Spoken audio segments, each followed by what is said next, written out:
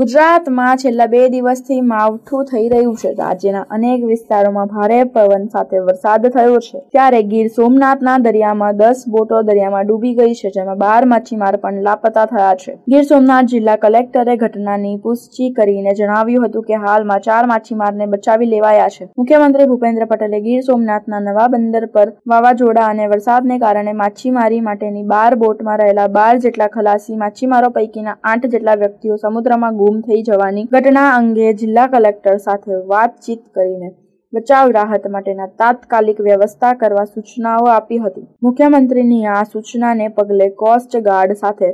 સંકલન સાંધીને કોસ્ટગાર્ડની બોટ્સ અને બે હેલિકોપ્ટર દ્વારા બચાવ કામગીરી હાથ ધરી ગુમ થયેલા માછીમારોને શોધવા માટે અને પરત લાવવાની કાર્યવાહી યુદ્ધના ધોરણે ઉપાડવામાં આવી છે